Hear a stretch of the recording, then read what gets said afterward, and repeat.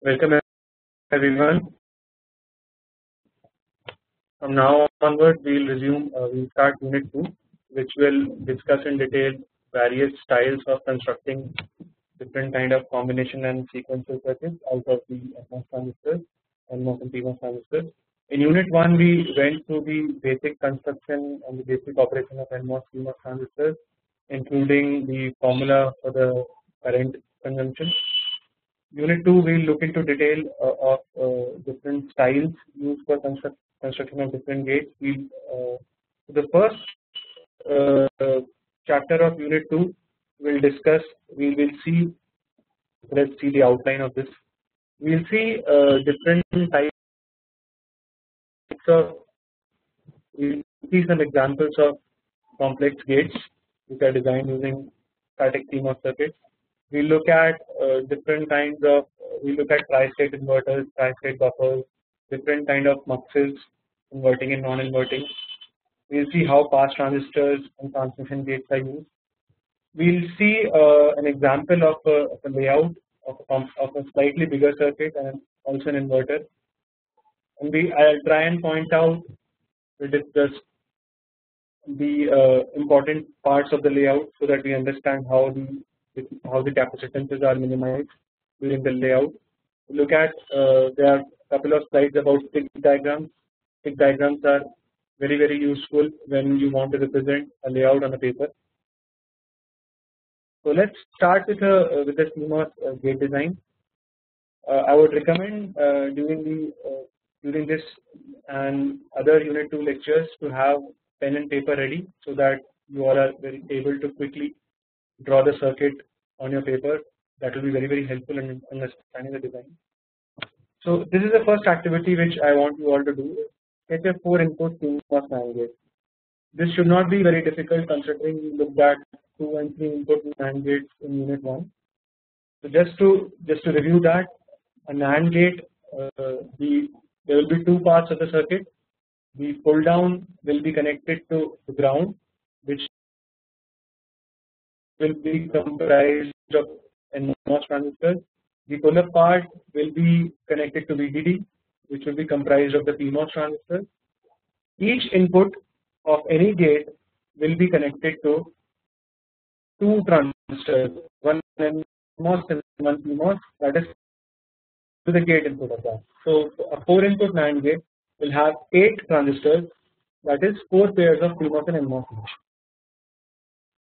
the pull down network that is the NMOS will represent the complement of the function you are trying to calculate. So on AND the pull down will become the AND and all the NMOS will be in series. The PMOS represents the complement of NMOS so all the PMOS will be in parallel. So uh, let's try and uh, draw this circuit on the paper. Correspondingly what I would do is uh, we will see a 4 input NOR gate. So you could also say that the NAND gate will be complement of the NOR gate. So uh, let's let's discuss let's review the NOR gate also. So as I said that each input let's say A, for this in this example will be connected to two transistors one PMOS and one NMOS. It will be connected to the gate input of the both transistors. The pull down network will be connected to ground the pull up network will be connected to VDD. The uh, the pull down network shall represent the complement of the function we are trying to implement. In this case, the function we are trying to implement is NOR.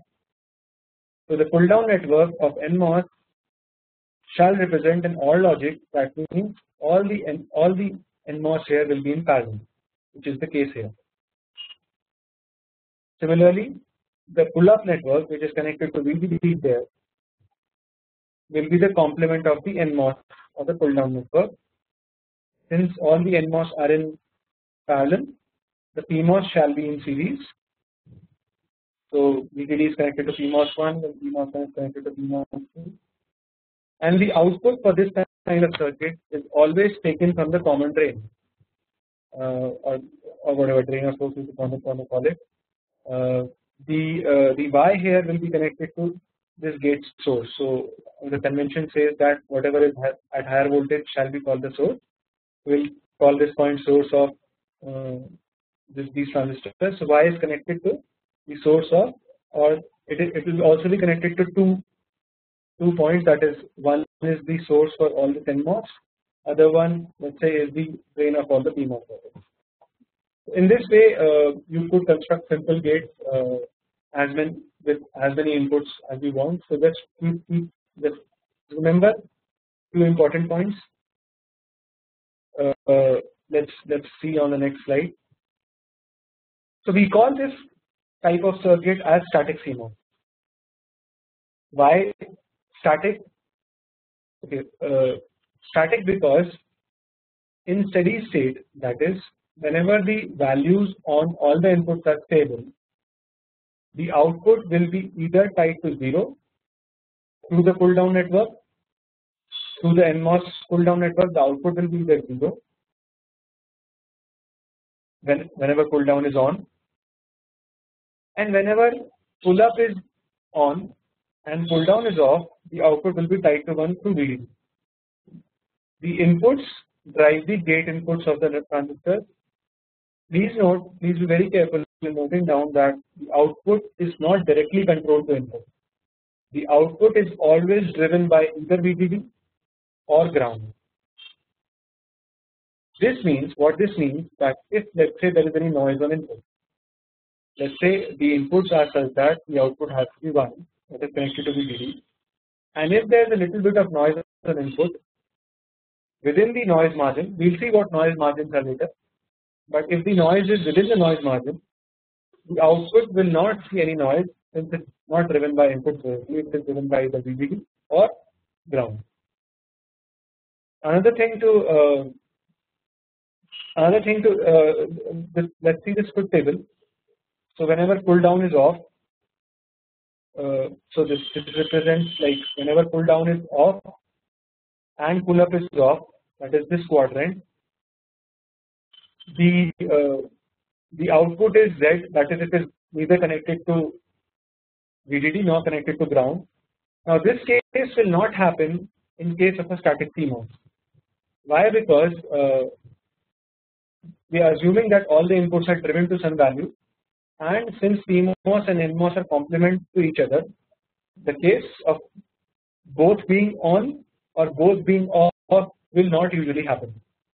These two quadrants are valid cases so whenever pull up is on, the output is uh, connected to VDD. Whenever pull down is on, the output is connected to VDD. Now also notice one thing that in the steady state, that is whenever the inputs are not switching, the output will draw almost negligible current. That is, if it is connected to VDD, the uh, the resistance, the on resistance of a transistor is quite low actually. So uh, it is drawing a very very negligible amount of current from VDD. Similarly, when it is connected to ground via NMOS, it is uh, sourcing very, uh, it is sinking very negligible amount of current. What this means is that this kind of circuit is very power efficient. When we see different logic styles in later chapters, uh, please try and differentiate between this logic style and other logic styles on the basis of power. Now NMOS and PMOS independently also are switches so they can be used to make the different type of gates. One of the examples this this is not a very popular style uh, we'll come we'll come to this uh, why is it being so in the next slide.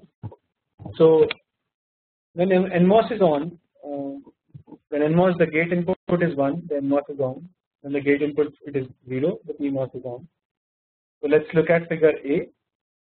So A is connected to B by a, a series of two transistors, they are both NMOS. So whenever both G1 and G2 are 1, A will be connected to B. So you could say that the function represented here, being represented here is G1 and G2. So uh, there is a simple truth table of an AND gate Similarly, when we look at the PMOS, so PMOS would again be the complement of NMOS. So whenever either of whenever both of them are zero, then only the gate will be on. So this represents an AND gate. Here we see that uh, the circuit of a of two NMOS transistors in parallel. So when either of G1 or G2 is 1, A will be connected to B, which is this case, this case, and this case, and both have an output. A will be connected to B. Similarly, the fourth figure is nothing but the PMOS and complement of C. Now, again, the important point to note here is that G1 and G2 are controlling signals, and if the uh, and A is in some of the cases, whenever there is a path exists from A to B, A is the input which is connected to the drain, and B is connected to the source. So in some of the cases the path exists between A and B and considering let us say the output is B and the other way around also the output can also be A. So A and B are connected with each other in some of the cases which means that a noise signal on A would be passed on, on to B. This is an important point to consider in this case this kind of circuit building whole gates using this style is not very popular because of the reason I said because the noise gets passed easily. Now as I discussed earlier uh, I would like to repeat this point that a complementary CMOS gate will always produce either 0 or 1. The rule of conduction complement says that the pull up pull up network is always the complement of pull down network. What it means is that if the pull down network is is series, the pull up network will be parallel and vice versa. You can you can see see any of the circuits we have discussed earlier, either two input NAND gate or two input NOR gate or three input NAND gate or three input NOR gate. Always the pull down network is the complement of pull up network. This makes our job very easy when we want to construct complex gates. We will see uh, in the next slide. So here is one of the compound gates, very popular gate,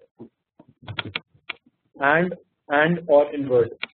So the notation which is being followed in the in the industry is A is for AND, O is for OR, I is for invert. So this gate is AOI 22. Now any compound gate uh, any compound gate that is doing an inverting, inverting function. Now please remember that CMOS logic by design is an inverting logic. What it means is that let's say let's go back a slide and a two input gate. So a two input NAND gate would need per input two transistors in total four transistors but the function of y is a dot b and if you want an AND gate, you would have to add one more stage of inverter after Y. That would mean that AND gate would, would have a two input AND gate will need 6 transistors. So whenever we discuss compound gates, it's easier to discuss the gates which have inverting function. That is, Y will be complement of some function. In this case, Y is complement of A dot B plus C dot D.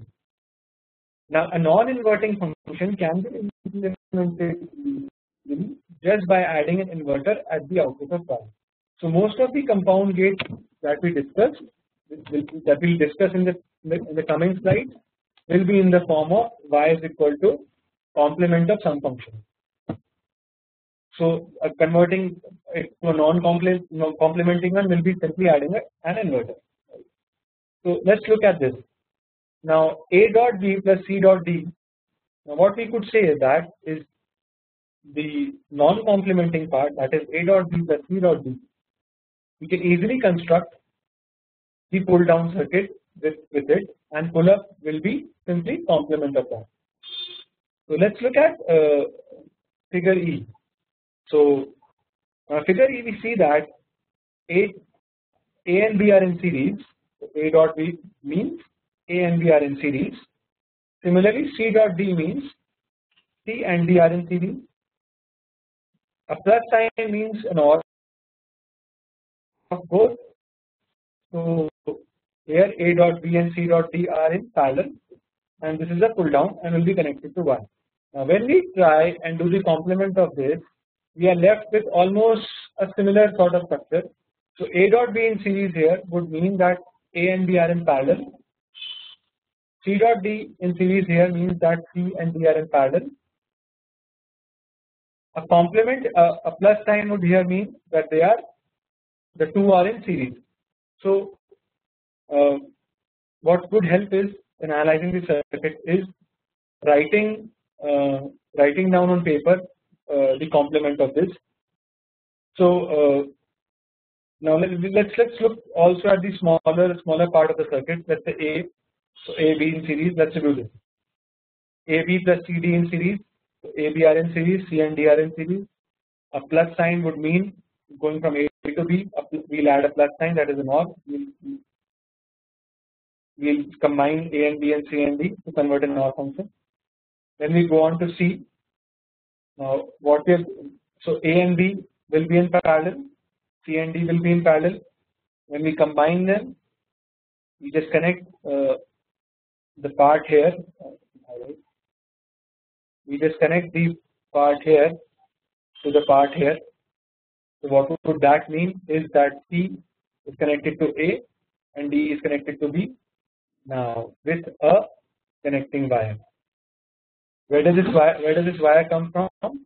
It wire this this wire is common to this point and this point. So we get E. This is the logic diagram of this circuit.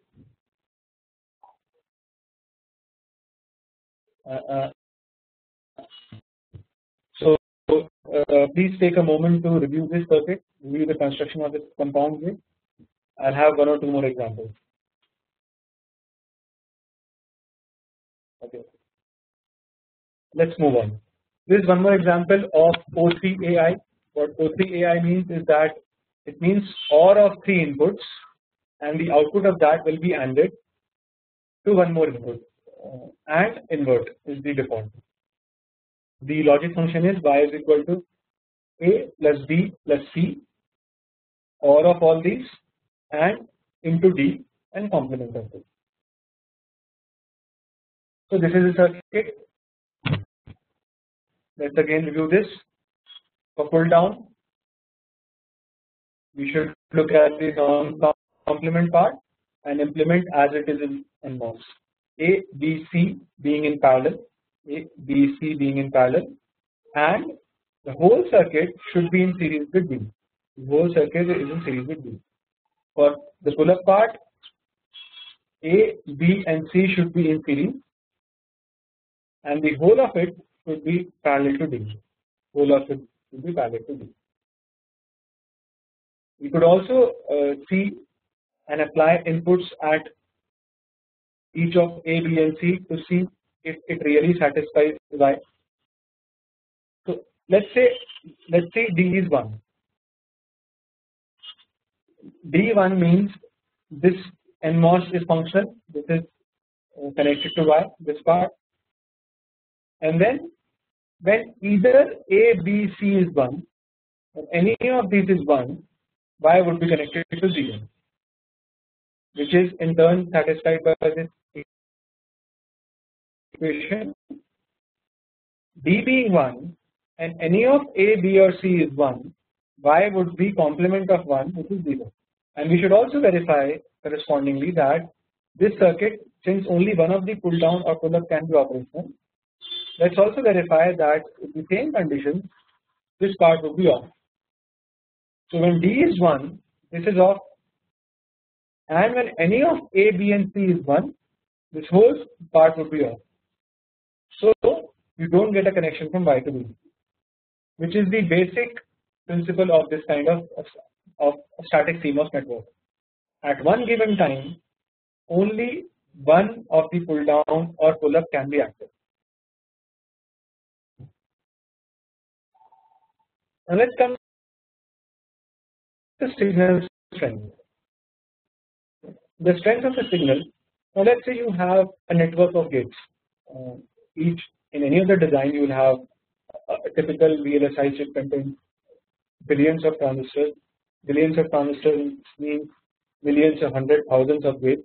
Lot of gates have are connected in their their multi-state network. That means that there will be let's say an AND connected to OR connected to an inverter and, and so on. So each of those gates, each of the outputs and inputs of those gates, we have to see they should all be relatively strong. That means to to make sure that the functionality of the whole digital design is correct. So we have to see so each of the, those inputs and those outputs. When we say how strong is the signal, we need to check how strongly does it appro approximate the ideal voltage source. The ideal voltage source in this case being VDD and GND rails. VDD and GND rails are supposed to be strongest are sources of strongest 1 and 0. How strong? What does a strong mean in quantitative terms? Let us say in my chip the VDD is 1.0 volt and GND is 0 volt. So a strong one would mean a voltage value which is very very close to VDD that is 1.0 volt. How close? Let us say 5 percent of let us say it should not be worse than minus minus 5 percent of VDD. That means a strong one would be somewhere between 0.95 to 1, 1.0 volt. Similarly, a strong 0 would be between 0 and 5 millivolts. We saw earlier that NMOS passes a strong 0 that is why it is used in a pull down network but it passes a degraded or weak one. We also saw that NMOS while passing 1 it will uh, the VT of the transistor will be subtracted from VDD. So a VDD at the source or drain at the drain would and the gate being also tied to VDD would mean the voltage on the output that is source is VDD minus VT. Similarly, PMOS will pass strong one that is why it is used in a pull up network but degraded or weak 0 right.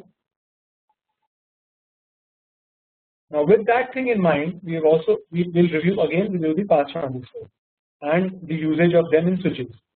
We've, seen this earlier but uh, the, the discussion of pass transistor is important here to see how transmission gates are constructed out of them. So again let's go through the pass transistor. Pass transistor what it means is that the input is being applied at source and the output is being taken at drain or vice versa. So if gate is 0 source and drain for NMOS are disconnected. If gate is 1 if the input is 0 if the input at S is 0 the drain would be strong 0 if S is 1 the drain will be a degraded 1 what it means if S is VDD the drain would be VDD minus VT Similarly, whenever PMOS is on, if S is 0, the output is degraded 0. That means output will be VSS plus absolute value of VT of the PMOS transistor. When it's when the input is 1, it will be a strong one. Now what we do here is that from the pass transistor we combine the NMOS and the PMOS and so NMOS passes a strong 0 PMOS pass, passes a strong 1 we saw that static CMOS gates they utilize this functionality to make sure that output is always a strong 0 or strong 1 and how did they do that? By making the pull down complement of the pull up network. Now here while construction of transmission gate we connect to we connect a PMOS we connect a PMOS circuit here and an NMOS circuit here by the we connected connect both the source and both the drain together. This was not the case in in static CMOS please note. Here the input is not coming from the gate. The input is coming from the source side and going to B. B is the output. Now let us see how this functions. whenever now uh, uh, please note that one input is connected to the gate G. Other is the complement of gate G is nothing but complement of G. Whenever G is 0 the NMOS is off GB is 1 the PMOS is off A is not connected to B. Whenever G is 1 and GB is 0 they both are connected. What it means if the input is 1 the PMOS here makes sure that output is strong 0 although there is connection also via NMOS but the PMOS makes sure that the output is strong 1 whenever A is 0 the NMOS makes sure that the output is strong 0. So we utilize the properties of both NMOS and PMOS to construct a gate a switch in fact a simple switch which makes sure that output is not degraded. This is the symbol of uh, these are the example of symbols of AMD Uh, of the transmission gate. So in transmission gate we have three symbols the input A, output B and the controlling gate input G but we also need the complement of G which is G. Let us see how transmission gate is now used. Now we realize that a transmission gate can be a good switch. Let us see how do we use it to make big circuits. One of the most famous circuits is a tri-state buffer. Now a tri-state buffer reduces. uh, so in fact the switch the, the switch we saw here this switch is nothing but a tri-state buffer.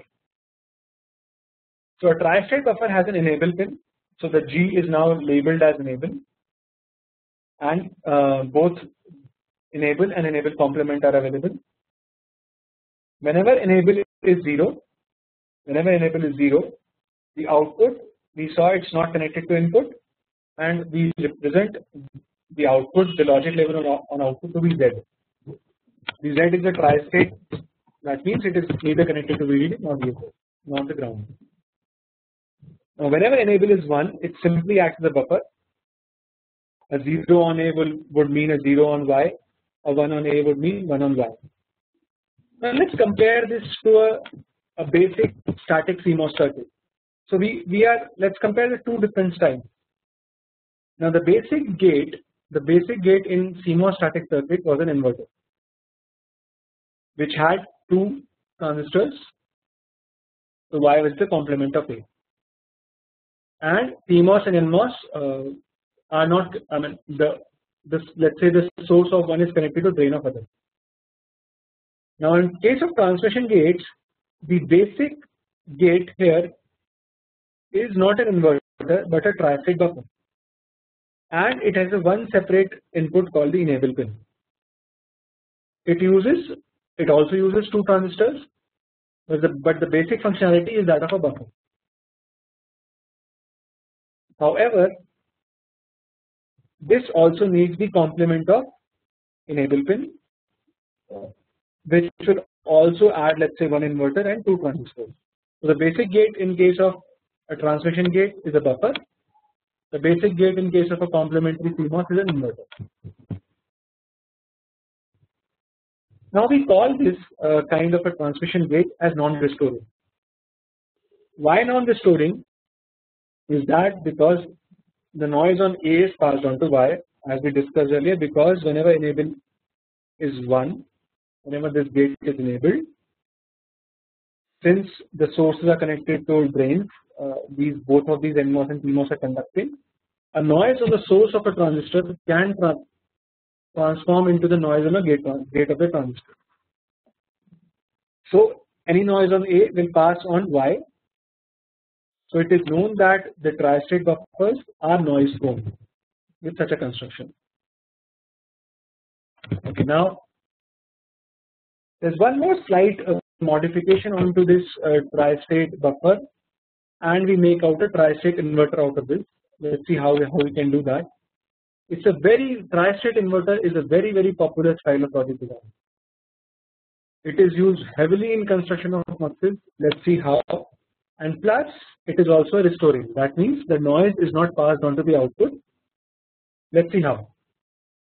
Now, what we do is, uh, okay, in the previous slide, I want to mention one thing. It says that a transmission gate needs only two transistors, which is not exactly true. Yes, it, it needs two transistors, but uh, but it is assuming that the NOT of in, enable is already available. Now, what we do here is that we we connect the enable. We make let's say this the, the part here this part what does it represent in isolation. What it represents is that these two transistors here this PMOS and this NMOS they represent an inverter here. But the same input is not connected here. NMOS is connected to EN and PMOS is connected to EN bar just like in case of a trans transmission gate buffer. A sim simple a single input A is connected to PMOS here and NMOS here. What it means is that yeah. Uh, what it means is that whenever enable is 1 this is turned on. This is also turned on because enable is 0 here enable bar is 0 and it's a simple inverter. That means a this this whole circuit this this transistor here this transistor here and this transistor here these this circuit now is just an inverter simple inverter. And whenever enable is 0 this is open and y is z. So again we notice two things here it violates conduction complement rule. The pull down is not the conduction is not the complement of the pull up why because we want a z output. Second important thing is that noise on A is not noise on A is not transferred on Y because A is driving the gate input of the transistor. This is the symbol, the logic symbol of of a tri-state inverter. You can you can either either represent it by this or by this. In in the case of the first one, it is implicit that a conduction a, a complement of EN is available. In this case, we are making the connection explicit. Okay, so just a few important things to remember. A normal CMOS inverter, a transmission gate buffer, and a trans and a tri-state inverter. So we see all these three basic gates. Now we see how tri-state inverters are used. Now uh, I mentioned very uh, I mentioned uh, that a tri-state inverter is most popular in construction of muxes. Uh, so this is the case. Let's look at a 2 is to 1 mux. Let's review the mux functionality. Whenever the select pin is 0, no matter what happens on D1, the D0 will be passed on to Y. So select select is 0, Y will get whatever is present on D0. Similarly, when select is 1, Y would get whatever is present on D1. Now let's say if you would want to construct this mux out of a complementary uh, uh out of a static CMOS uh, design style. So what we would look for is we would look for first of all the boolean expression. Now y, y is equal to sd1 plus s bar d0 now as we uh, we notice that any function should be in form of a complement so we could say that y is equal to we could we could add a couple of complements here two complements and we could construct uh, we could construct a, a pull down network out of so let's let's first see how now we could uh, for for constructing the static CMOS, CMOS circuit this uh, the complement the first complement here the top com topmost complement would mean adding an inverter at the output stage and the remaining of the the remaining circuit here the complement of SD1 and SD1 this this remaining here would go down as a pull up and a pull, pull down network right. So uh, let's see how many transistors are needed. The answer is 20. You could go back and verify. Let's let's see how how 20 why 20. So this would mean AND gate and inverter and an AND gate here we have done some bubble pushing here to convert this uh, AND AND into a NAND adding an inverter and again adding an inverter. So each so uh, a two input NAND gate if you go back and remember the two input NAND gate needs 4 transistors. So AND in turn would need six, need 6 transistors because one more inverter is added. So the, we have just labeled the number of transistors so each NAND requires 4 additional inverter requires 2 again a NOR requires a 4 and a 2 and an inverter 2. So in total this mux would need 20 transistors to implement. Now let's look at the power of transmission gate in specifically transmission uh, not transmission gate in fact a tri-state inverter. So uh, or uh, or let's say let's let's first look at transmission gate. Now a non-restoring mux uh, we label this as non-restoring because again it's transmission gate based and noise on inputs will travel to output. That's why we say it's non-restoring. So we need only 4 transistors. How come? Now uh, the two of the trans both transmission gates can be connected. The outputs of both trans two transmission gates can be connected to the output can be tied to the output However, we have to make sure that only one of the transmission gate is active at one time. How do we do that?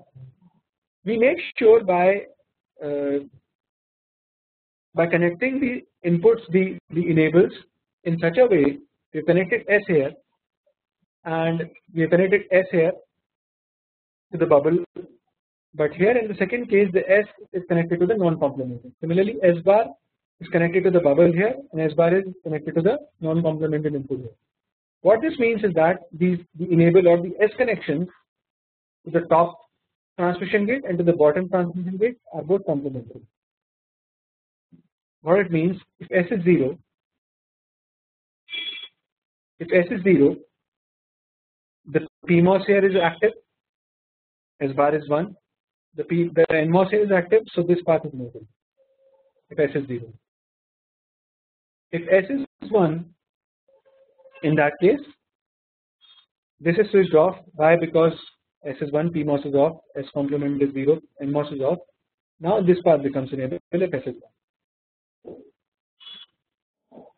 So a transmission gate mux needs 4 transistors. If we compare apples to apples this means we have to also take care that this S here would need an inverter this S actually would need an inverter here this is this S is connected here and S will be S bar will be available here. So this inverter means two, two more transistors so 4 plus 2 6 and the earlier one had 20 transistors. The only disadvantage in transmission gate mux is the non-restoring part. Now let's see an inverting mux. What the inverting mux means? Inverting mux means uh, nothing but the output is Y is just a complement of the earlier uh, mux we saw. So uh, Y would be nothing but uh, uh, the complement of uh, the regular mux. So there's a bubble. There's a bubble here. If you notice, there's a bubble here. Yeah. Now if we use a simple uh, AOI type of gate then uh, we see that we need 8 transistors to implement this using a static CMOS. How? Let's see the construction here. So let's uh, uh, yeah. So D0 the let's look at the pull down first. So pull down uh, so uh, let's so you have we have to see that the first S bar and D0 are AND together. So D0 here and S bar this is an AND connection. Similarly S and D1 is again an AND connection. Both of this is an OR connection. So this is an OR. This this connection is an OR connection. Similarly the pull up part would be a complement. We saw the construction of AOI 22 earlier. This is exactly same. Only the inputs are labeled differently. That is the earlier the inputs were A and B now they are D0 and D1 or this is the first case this is the first case or what we could do is we could use a pair of tri-state inverters. We saw that this is the construction of tri-state inverters. Again, if we are uh, if we are connecting multi-stage tri-state inverters to construct a mux, then we have to make sure that the connections of S and S bar are complementary to the two stages. So S and S bar are connected differently here. D0 and D1 are connected in the same fashion. So this uh, is very very similar to the to this circuit we saw earlier and also to this circuit we see here. Both utilize 8 transistors, but now this inverter, sorry, this inverted mux here is the restoring type because uh, all the inputs are at the gates. Let's look at a still bigger uh, multiplexers. We what we saw earlier was a 2 2 is to 1 multiplexer. Now let's look at 4 is to 1 multiplexer. It chooses one of the four inputs and there are two select lines. So again, it's a uh, going back to your digital design basics. Uh, 4 is to 1 multiplexer can be constructed out of two 2 is to 1 multiplexers with the the LSB the S0 controlling the two muxes here and the S1 controlling the uh, mux which controls the output. Now uh, we could a very simple circuit of this is connecting four tri-state inverters to the output. Now please note that here for 2 is to 1 multiplexer this one and this one where these are two tri-state inverters connected. The output of both of them is feeding by. Similarly for 4 is to 1 there will be 4 tri-state inverters. Output each of these outputs connected to Y however the enable will change now.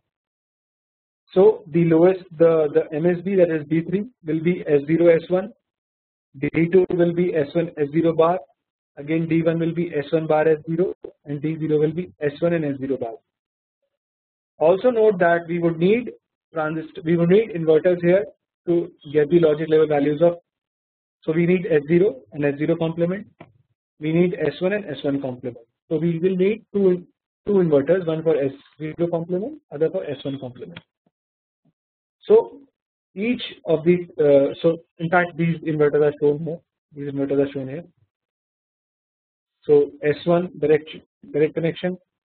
Again this is the nothing but S0 bar. Okay. So we see that a circuit which has a very big uh, comparatively a bigger boolean expression for a 4 to 1 mux is in implementation is actually not a very big circuit. It's just 4 tri-state inverters all connected in series to Y this is the power of tri-state inverters in construction of MUXes.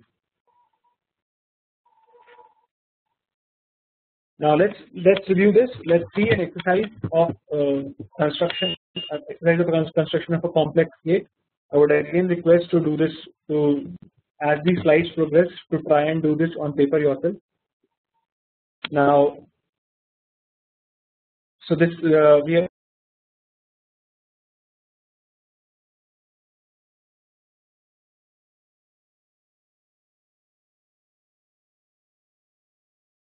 we are it's very popular. Uh, uh, it, now you must all be clear how to do this.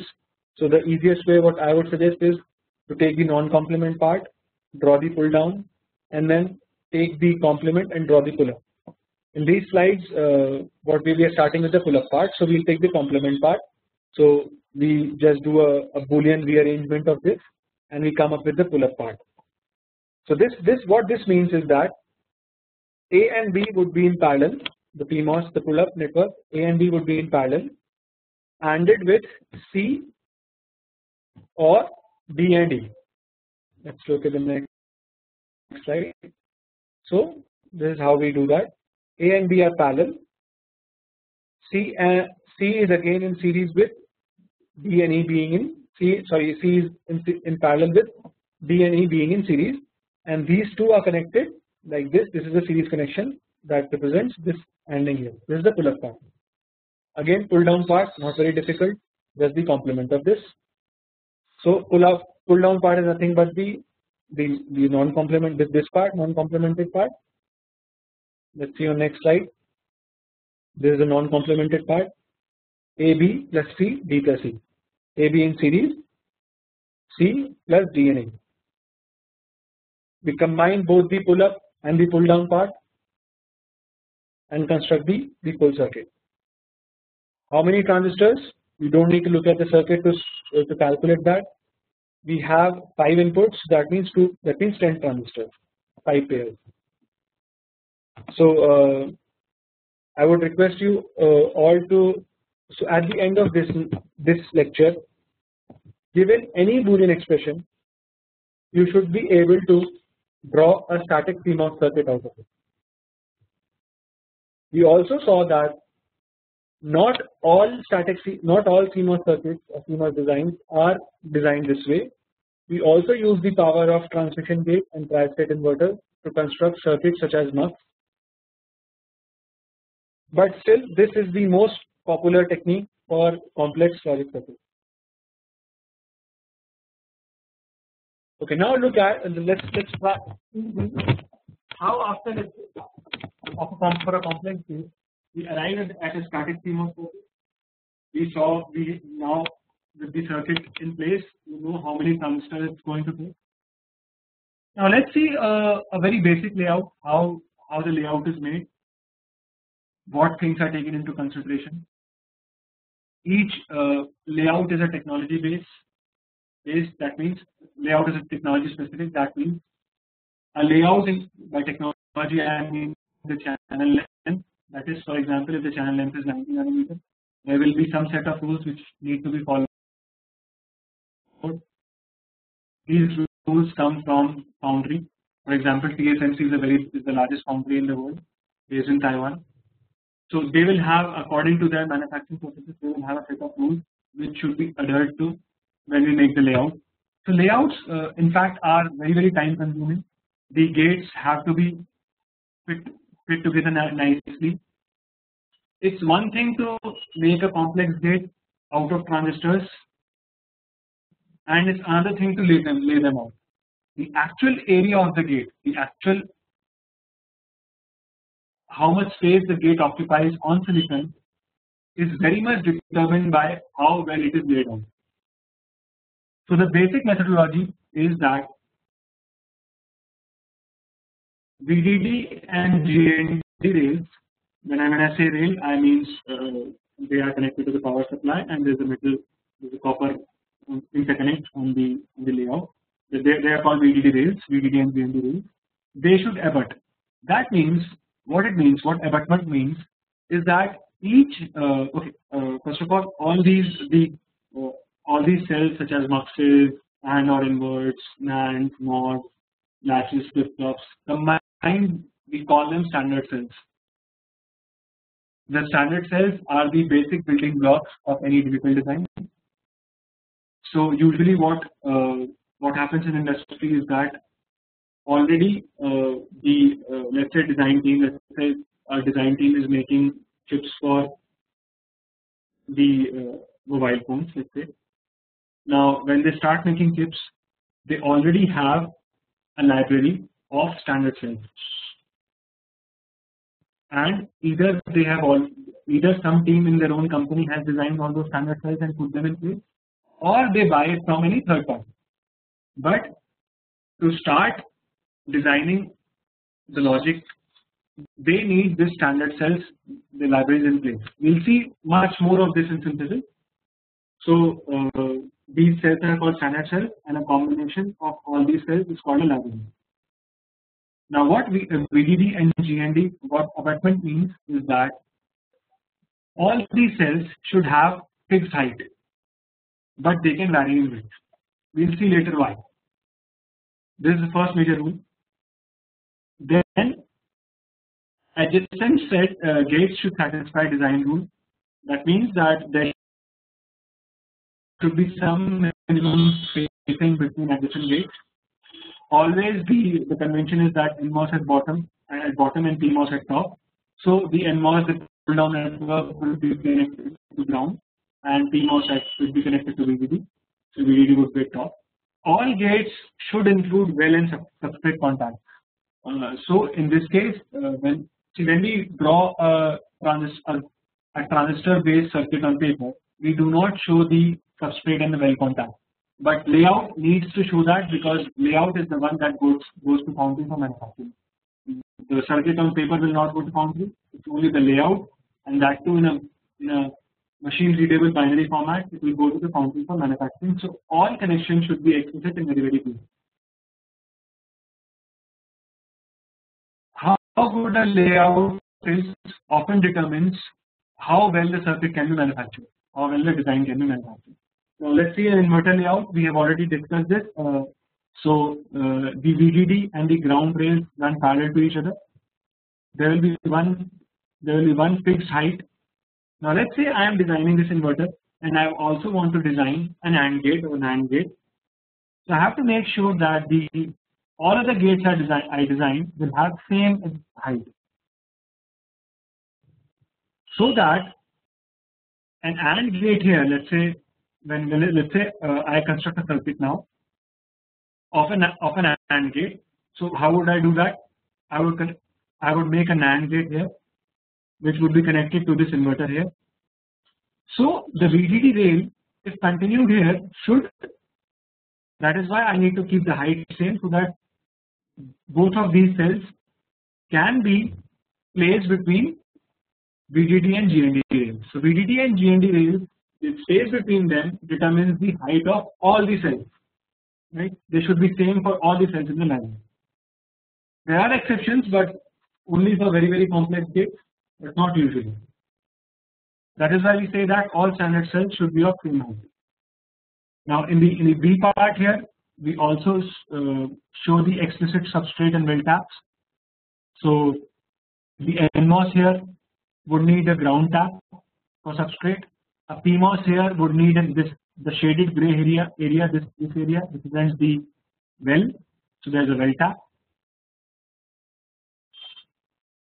Let us look at a slightly more complex gate which is nothing which is NAND a 3 input NAND gate.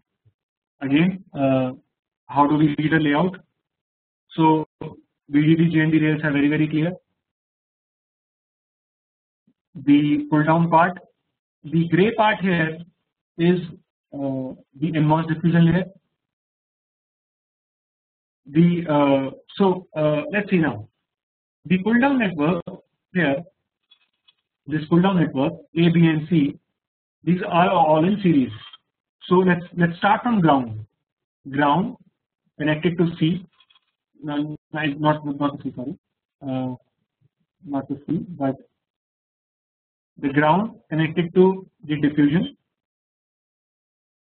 Again so this is again diffusion diffusion connected to diffusion again diffusion connected to diffusion and again a diffusion going to 1 correspondingly in layout we see ground drain there is a contact there is a substrate tap connected to diffusion diffusion diffusion diffusion and then this goes to 1 the blue part here corresponds to the pull down network here.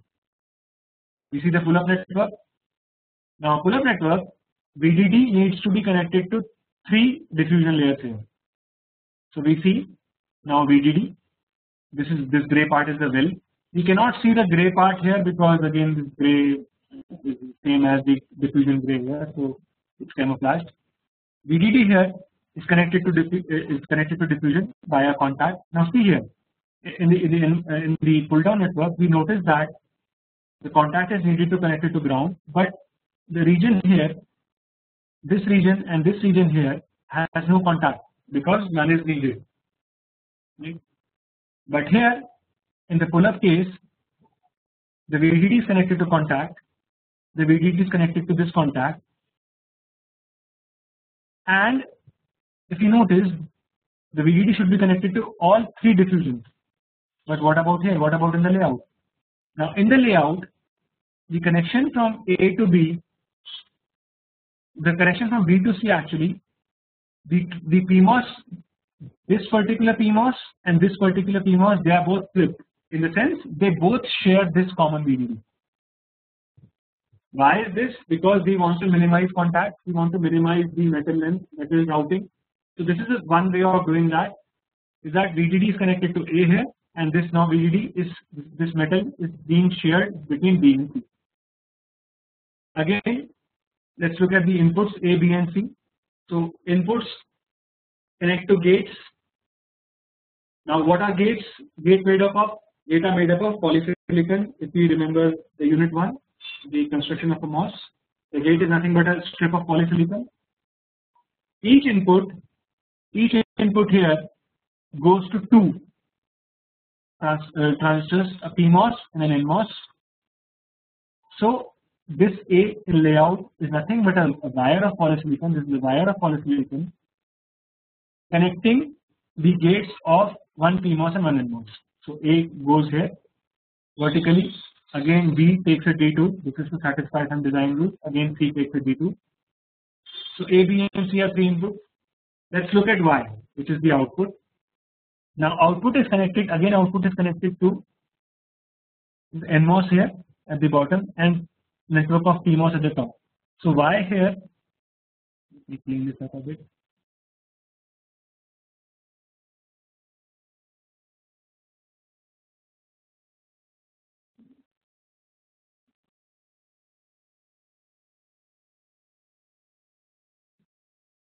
Okay. Now, uh, so we see Y here is connected to the topmost. So NMOS are stacked. It is connected to the topmost here. So this actually this layout and this uh, the schematic don't match completely because here in the schematic the is the topmost stack NMOS, but here we see that in fact C is the topmost stack, so it doesn't matter. So Y is connected to uh, this NMOS here, which is C, and again Y now needs to be connected to all three trans transistors at the top. So the connection to C, this one is the connection to C. This connection is common to both A and B. So we see that very intelligently VDD connections to all three PMOSes and the output connection to all PMOSes. Uh, the connections for two transistors have been shared. This is to make sure that the number of contacts remain minimal. We will see one example later. Now this the height is 40 lambda we see is the feature uh, size. So the height is 40 lambda and this this 4 lambda is nothing but a design rule which says that an example of a design rule which says that there should be a spacing of 4 lambda uh, from the the other rule. Uh, let's see these are just these design rules are just examples uh, they can be these design rules are different depending on different technologies so uh, I hope uh, everybody uh, now can read a basic layout and understand a basic layout. Uh, stick diagrams are, are a very popular way to help plan layout quickly. Since they are an abstract representation, they need not be to scale.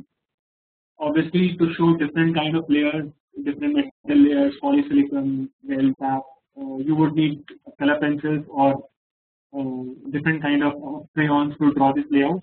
Uh, you can do one or two exercises yourself on paper to make uh, to make sure the concept is clear. So the A is uh, an inverter layout and B here is an AND gate layout.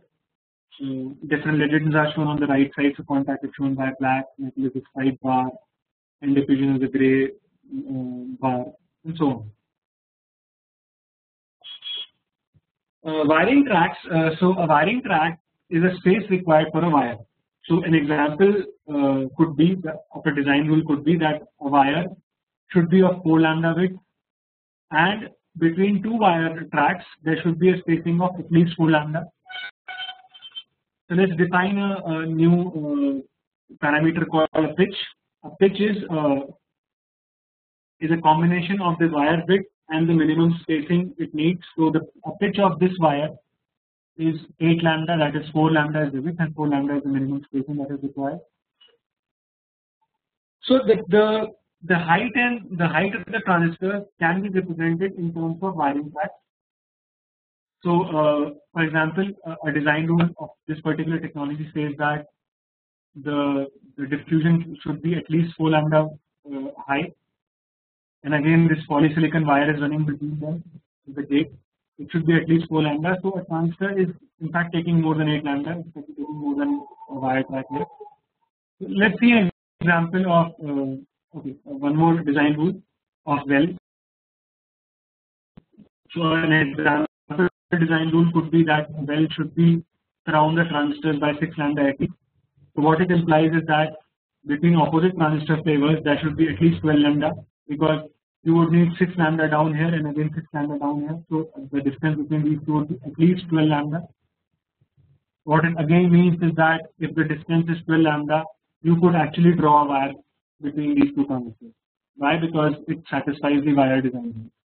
How do we estimate the area of a gate after the layout uh, when we are drawing the layout? We estimate the area by counting the wires. That is, uh, for example, for, for this kind of a gate, we could estimate the area by uh, since the pitch of the wire is 8 lambda, we could uh, we uh, multiply by 8 to express in terms of lambda. So the let's say this this is 40 lambda, so this is 5 wiring tracks, this width is 32 lambda, so the area of this gate is 40 lambda by 32 lambda. This is an example. We, we saw the construction of O3 AI uh, in terms of static CMOS earlier. Now let's see the the this is the layout. I, I guess this is uh, yeah. So this is the layout in, terms of stick diagram. So uh, I will not go into too much detail of this. Uh, I would ex expect uh, all of you to first on the on the left hand side put the transistor level gate design which is called the schematic. On the right hand side you study this layout this diagram and satisfy yourself with, with this construction. You would see some interesting features here that is sharing of contacts. So uh, one thing is, is, is clear one, one, one quick observation you could do is that you see now more taps on the NMOS than compared to PMOS. So you could say that the NMOS circuit requires more parallelism compared to the, the PMOS uh, network. So the, the since if the network is series, it would require less contact taps. If the network is parallel, since it, the parallel network needs to be connected to VDD and GND, each transistor gets connected in the parallel network. You will see more taps in the parallel network, right? So, so uh, this is again estimating area. Uh, this uh, estimating area is, is not an uh, it's not very easy doing it on paper. There are many tools available for layouts. I, I maybe yours one of the other electives or courses has layout techniques, and when you when you use these tools, you could you could actually estimate area. One thing is very clear. One thing is fixed. Let's remember that the height of a cell is fixed. So you would have to uh, draw a layout within those restrictions, keeping the height fixed and varying the width depending on how many transistors are needed. So let's let's review the topics we studied in this chapter. We saw the construction of uh, some complex gates using static CMOS techniques, and the static CMOS techniques indeed remains the most popular techniques for gate construction. We saw transmission gates. Uh, we saw a tri-state inverter both are very popular in construction of MUXes. When we saw basic layout design techniques, we saw an interesting layout of a clean input NAND. Uh, again, I would request all of you to take the layout of understanding of the layout of OPAI as an exercise yourself. And if let's say you have access to some tools that uh, you can draw layout, it would be excellent. Uh, thank you all of you. Uh, in next lecture, we would look uh, into this how to estimate and calculate the delay of a circuit. So two two uh, parameters are very very important in, in during gate design. One is the area, other is the speed or the delay of the circuit. Third, of course, there is one more parameter which is power. But uh, let's we look into more detail into the delay part of the circuit. Thank you.